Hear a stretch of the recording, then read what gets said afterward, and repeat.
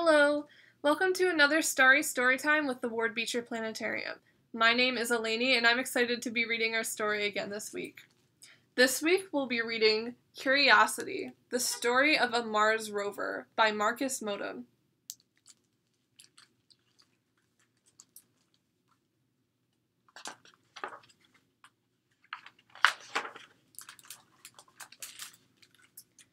Wherever you are in the world right now, I'm a very long way away. I'm not even on the same planet as you. I'm a Mars rover. A rover is a moving robot built to explore far off places, places too far away or dangerous for humans to visit. How did I get here? Why was I sent? This is my story.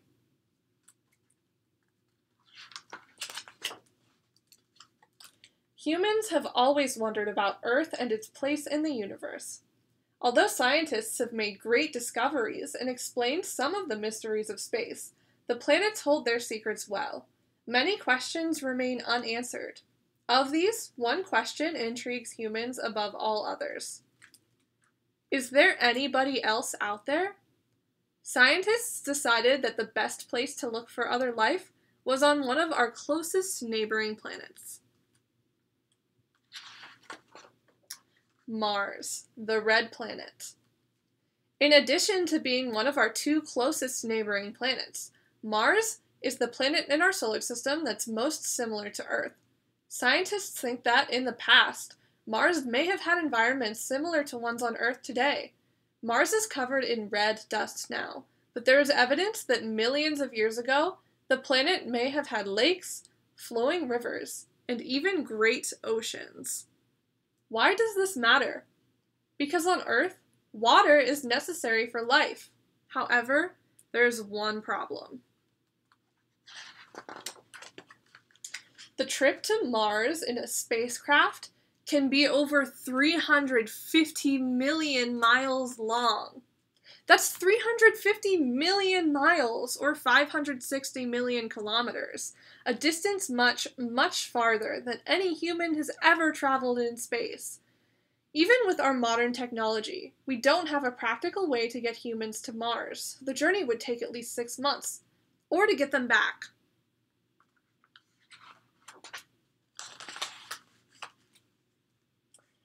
Humans have been able to explore closer to home. On July 20th, 1969, Apollo 11 landed on the moon. Astronaut Neil Armstrong took one famous step and became the first person to set foot there. For the few hours that he and Buzz Aldrin walked on the surface, people could look up the, at the moon and know that someone might be looking back at them. Mars is about 200 times farther from Earth than the moon, a journey that is currently very difficult for humans to undertake. The red planet is also an inhospitable environment. But what if it were possible to send an explorer who didn't need food, water, or oxygen? That's where I come in.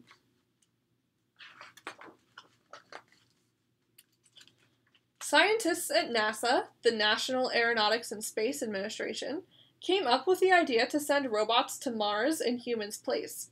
The robots would need to be able to move over rough terrain with all the equipment needed to collect data and samples. So the scientists began to design rovers like me.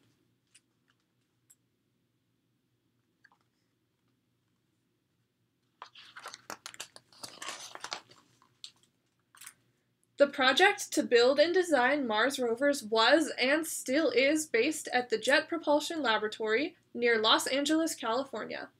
I needed to be larger and more advanced than any of the rovers NASA had built before. Previous successful rovers had taken photos of Mars, giving NASA never before seen images.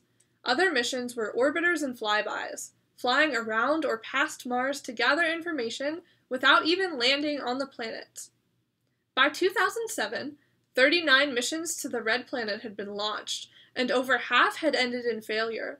Some of these earlier missions had become lost in space, while others crashed into Mars, never to be heard from again.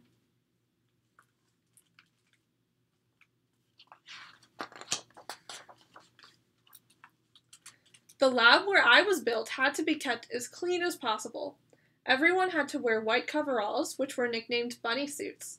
These suits stopped dust and germs from spreading to me and my equipment. The suit covers a person from head to toe. This way, no skin, hair, or other kinds of human dust will be shed into the clean room. Humans make a lot of dust. This air shower blasts away dust, hair, and skin from coveralls before people enter. Static electricity can harm equipment. This cord keeps the team member from giving off a static shock by transferring any static charges to the floor. Filters are used to remove as much dust in the lab's air as possible. The team didn't want to think they had discovered tiny forms of life on Mars, only to realize that it was just Earth bacteria I brought with me. Scientists recreated Martian environments in test rooms at the lab so they could check that I was prepared. My wheel system was designed to keep all six of my wheels in contact with the ground at all times on any terrain I might encounter.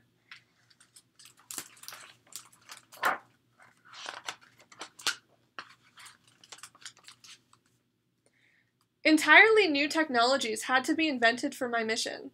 I needed to be able to carry a lot of equipment to test what I found on Mars, my own portable laboratory. To give the mission the best chance of being successful, years of testing were needed to make sure everything would work correctly the first time. After all, if something were to go wrong on Mars, no one could come and fix me. This is my antenna, which I use to communicate with my team on Earth. My weather station sits in here. With it, I can record wind speeds, temperature, and even radiation on Mars. I'm about the size of a car, 10 feet or 3 meters long, 9 feet or 2.8 meters wide, and 7 feet or 2.1 meters high. This camera points downward. It is designed to film the ground as I approach on my landing. These are my hazard cameras or HazCams. I use them to spot and avoid dangerous terrain. NASA ran a competition for members of the public to choose a name for me. Some of the names considered were Adventure, Journey, Pursuit, Vision, and Wonder. The winning entry was submitted by Clara Ma, who was a sixth grader from Kansas. The name she picked for me was Curiosity. My body carries the onboard chemistry lab where I run all my science experiments. Just like you, I have a shoulder, elbow, and wrist, so I can be as flexible as possible. This is my battery. It's nuclear powered. The, the plutonium in here will power me for years. My robotic hand has many tools, including a drill and a brush to probe the surface of Mars. These wheel treads leave marks that help me judge how far I've moved.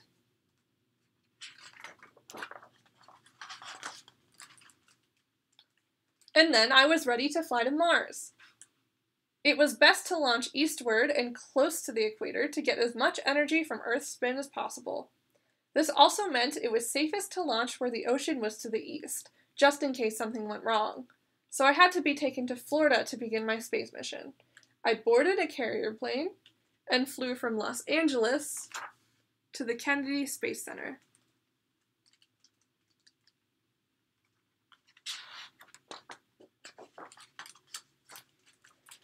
The rocket that would take me into space was waiting for me in Florida. The Atlas V rocket is around 200 feet or 61 meters tall, the height of a 19 story building, and it is almost all rocket fuel. This is because it needs to be powerful enough to launch whatever it is carrying, known as its payload, into space. The Atlas V is known as an expendable launch vehicle, which means its parts can be used only once. I was placed inside the nose cone at the very top. The cone is like a shield that protects the rest of the rocket as it breaks through Earth's atmosphere.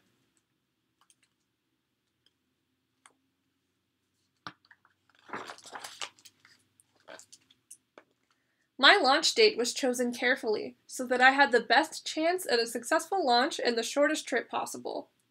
Because planets orbit the Sun at different speeds and distances, Sometimes they are far apart, and other times they are much closer together. Every few years, Earth and Mars are lined up so they are relatively close, allowing missions to reach Mars more quickly and using less fuel.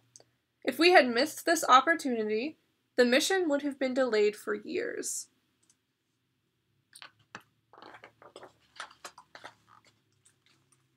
Launch day, November 26, 2011, arrived. I was ready to fly to Mars. In the control room, the team ran through the final checks. At last, the rocket was ready for countdown. Five, four, three, two, one, liftoff!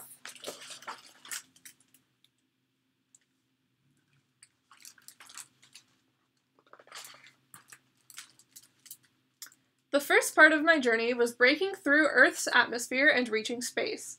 Once Atlas V's various boosters had done their job of getting the rocket into space, they broke off and fell safely into the ocean. These four boosters helped the main rocket escape Earth's gravity, then fell back to Earth once they were used up. This is the Common Core booster and its engine. It's about 107 feet or 33 meters long. Its fuel tanks were filled with kerosene and liquid oxygen. Once the rocket had carried me safely into space, the nose cone protecting me broke off and fell back toward Earth. Then the Common Core booster detached. Next, a second, smaller engine burned its fuel to launch me out of Earth's orbit.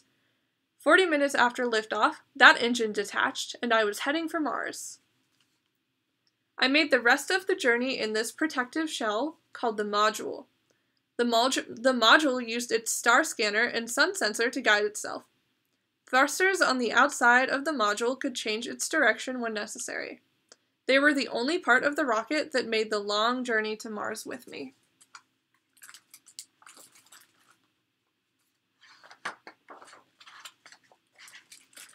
After 253 days, hurtling through space, I finally arrived near Mars, traveling 13,000 miles or 21,000 kilometers per hour. Next would be the trickiest part of my entire journey landing safely.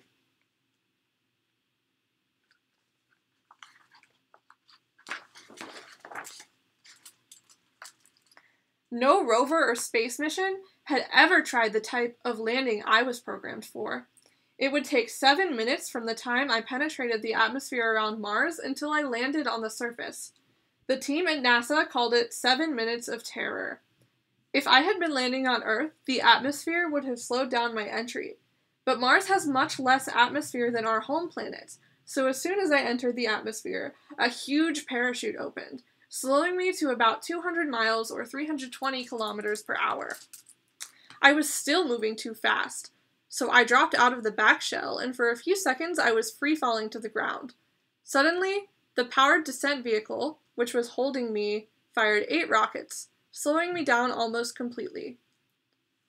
Then I was ready to be lowered to the surface on cables, known as the sky crane maneuver. Once the descent vehicle detected slack in the cables, it knew I must be on the surface of Mars and released the cables.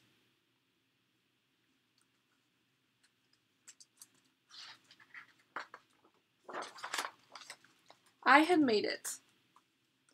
As soon as I was safely on the surface, I sent a message to my NASA team letting them know that I had landed. Because of the huge distance between Mars and Earth, the message took 15 minutes to get back to Earth. It was a tense time in the control room as everyone waited. Then, the words everyone wanted to hear were read out Touchdown confirmed. We're safe on Mars.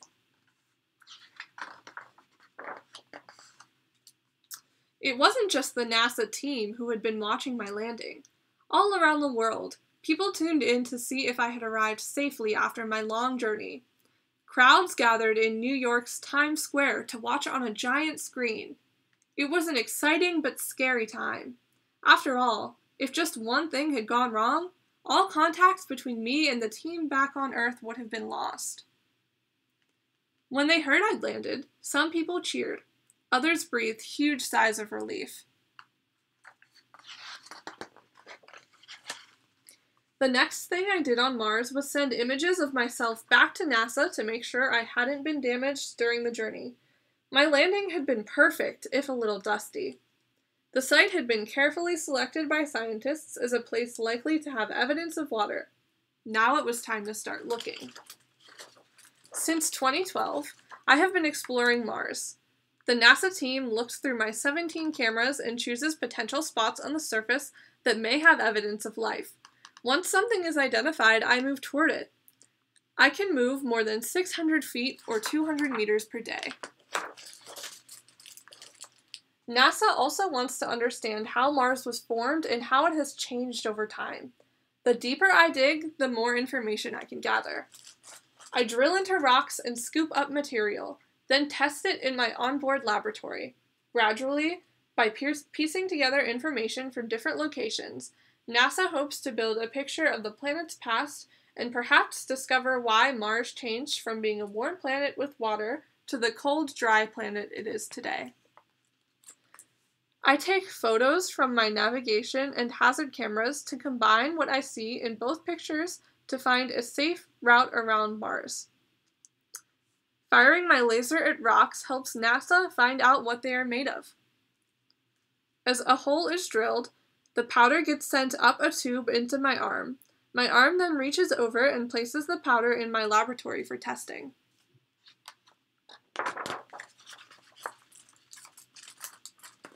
There are many questions still to be answered. What was Mars like long ago? How suitable was it for life? Did it once support any life forms? The tests I carry out will provide as many answers as possible. Most likely, the discoveries I make will lead to more questions. With space exploration, questions can be just as exciting as answers. Thanks to the curiosity of explorers, Neil Armstrong's footprints are on the moon. And now my wheel tracks are being left on another planet. Perhaps one day soon, footprints from the next generation of explorers will leave their marks here as well.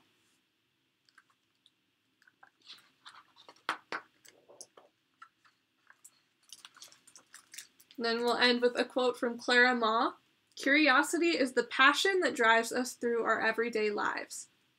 We have become explorers and scientists with our need to ask questions and to wonder. We will never know everything there is to know, but with our burning curiosity, we have learned so much. So that was Curiosity, the story of a Mars rover by Markus Motum. Thank you for joining me for Starry Storytime, and I'm looking forward to seeing you again next week.